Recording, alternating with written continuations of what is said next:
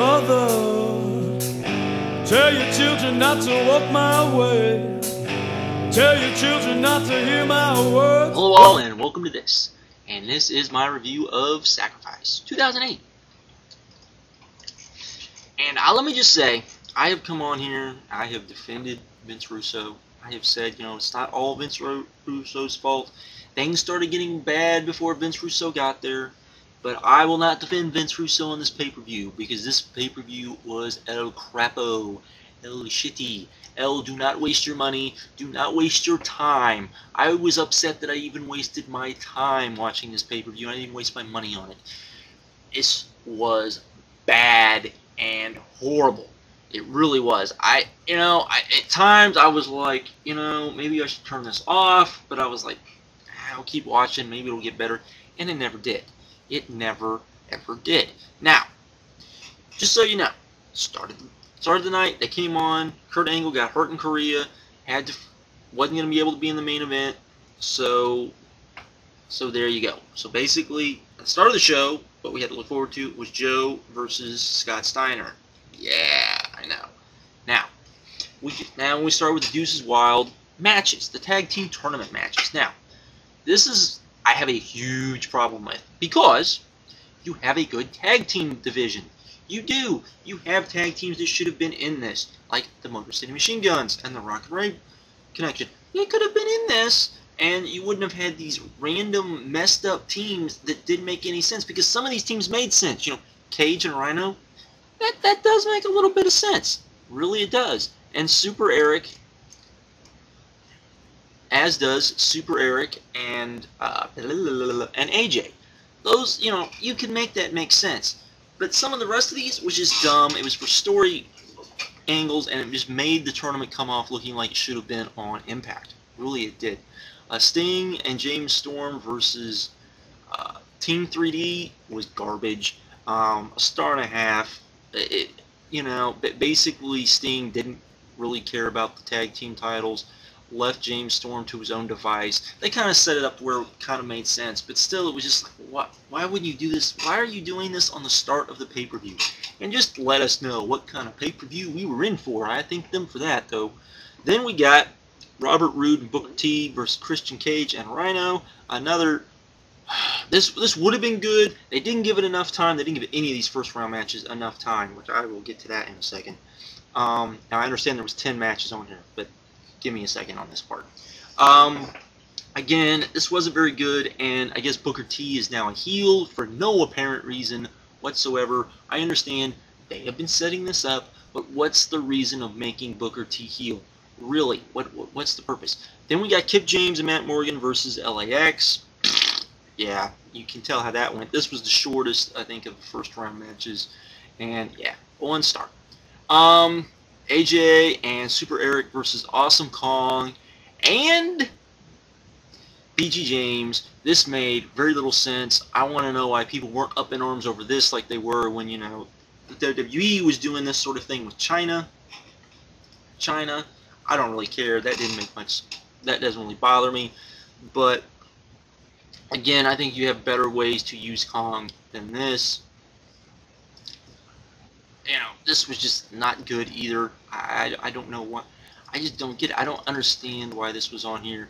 Another star and a half match. It was what it was. Um, and, and had a lot to. Would have would have been better because I enjoyed this, but AJ for whatever reason was just off.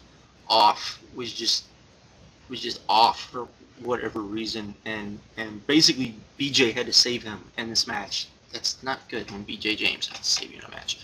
Uh, next we had the Terrordome.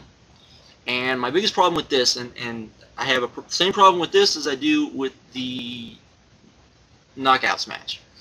You had one, two, three, four, five, six, seven, eight, nine, ten. You had ten guys in this match, if I counted correctly. Ten guys in this match. Well, you had all those women in the Knockouts match and they had to take time to set up the they had to take time to set up the Terrordome, and on top of that, they also let everybody have their entrances. No, no, no, no, no, no. They, they shouldn't have done that. I understand that people are like, oh, they could have given their entrances. No, no, no, no, no. You didn't have time. You should have given the tag team matches a little bit more time by cutting off. I'm telling you, it was 10, 10 to 12 minutes of this pay-per-view. You could have given, you know, spread it out between those first round matches. Probably made them a little better. Um, you know, but anyways, uh, the Terrordome was what the Terrordome was. It was, you know, the thing about this match is that I've seen the AAA version. The tri AAA ring, which is like the TNA ring, is bigger, and so our Terrordome is bigger than this. And because of that, they also used less guys. You had too many guys in too small of a space. It just became convoluted, spot, too spotty, just too ugh. It was it was you know a good X Division match. Uh, they also announced that the winner would get a shot in the main event to replace Kurt Angle. So as plus the number one contenders match, blah blah blah blah. Good match. Kaz won, which is always good. Um, a good three-star match. Um, then we had Team 3D versus Rhino and Christian. This is a match I think most people would think would be good. They did give them enough time that it, they just didn't flow very well.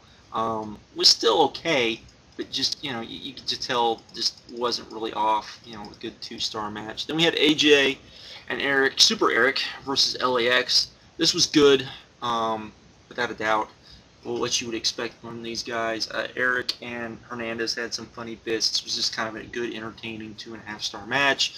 Then we had the ma knockouts makeover match. Again, the entrances took forever. You didn't need the entrances to take this long. It was kind of moronic.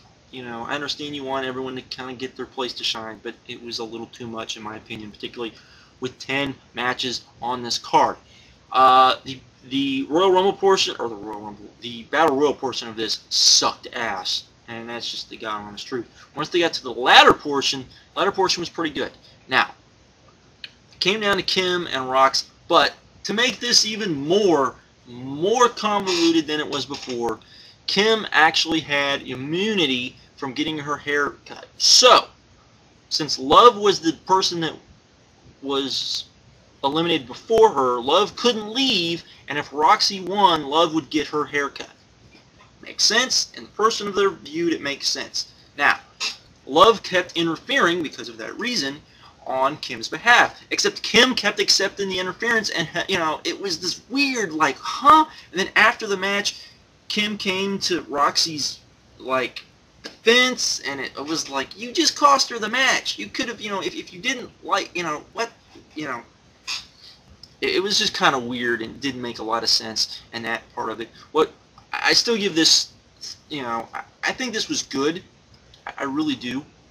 I still give it three stars, mainly because at the end, after they cut Roxxi's hair, I think Roxy actually got over more um, with her hair being cut, and I think that is better for the division as a whole.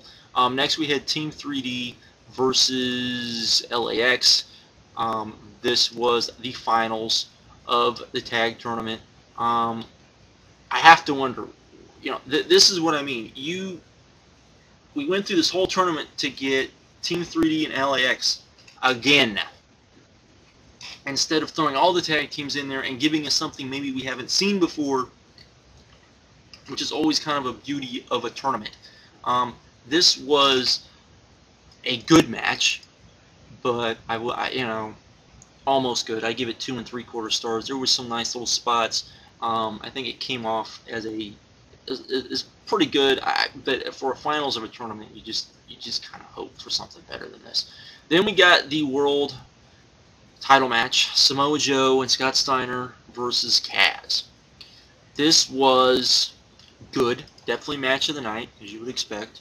Um, I'd give it three and a half stars even with Steiner botching because Steiner was a hindrance in this match, though he did pull off some pretty good stuff and he did carry his weight to some extent.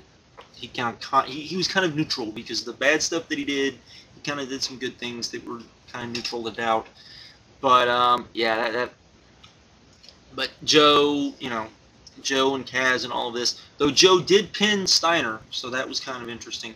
Um, and I do think they made the best out of the situation with Angle not being there. That said, this pay-per-view was lacking a lot. It wasn't very good. Um, I found myself very bored through a lot of this pay-per-view, and I kept thinking maybe it'll get better, maybe it'll get better. You know, through the first half, I was like, well, I want to see the Terrordome, so I, I set through until I get to the Terrordome, and I was like, eh, you know, I was hoping it would be better than that. Then I wanted to wait. I wanted to then with Taz winning, I wanted to wait and see, um, you know, what they were going to do with him in the main event, and we got to see that, and it didn't come off very well, in my opinion. But um, you know, still I'd give this a 5.5. I don't think this was a very good pay-per-view at all. I would, you know, do not recommend this. Stay, stay far, far away from this pay-per-view. Not good. Sorry. Later. Bye.